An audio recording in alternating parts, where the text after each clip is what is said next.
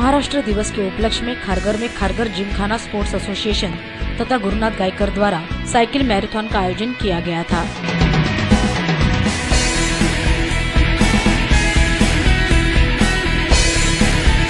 इस मैराथन के लिए पंचायत समिति के पूर्व सभापति हरीश केनी, ग्राम पंचायत सदस्य अशोक गिरमकर, विजय पाटिल, पत्रकार अजीत चौहान आदि गणमान्यों सहित खिलाड़ी बड़ी संख्या में उपस्थित थे।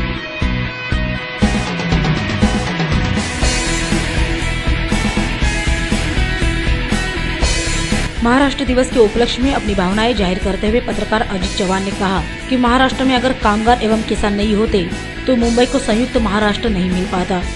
वही उन्होंने गुरुनाथ गायकर द्वारा किए जा रहे उपक्रम सराहना की। पक्षाच्या लोकांनी या संयुक्त योगदान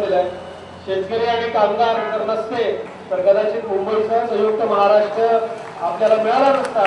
आणि म्हणून आजच्या या बोलण्याला सुरुवात करण्याआधी संयुक्त महाराष्ट्राच्या आंदोलनात हुतात्मा झालेल्या एकशे पाच सर्व भाषिक त्याच्यामध्ये होते. मला सांगायला खूप अभिमान वाटतो की संयुक्त महाराष्ट्राच्या चळवळीत सर्व भाषिक माझे भारतीय ज्यांनी ज्यांनी बलिदान दिलं त्यांना त्यांचं आज आपण स्मरण करूया.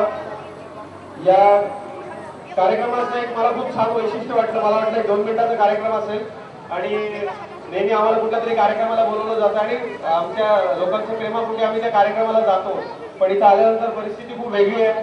माझे मित्र सन्माननीय गुरुनाथ गायकर साहेब जे सरपंच आहेत या खारघर शहराचे उपसरपंच आहेत.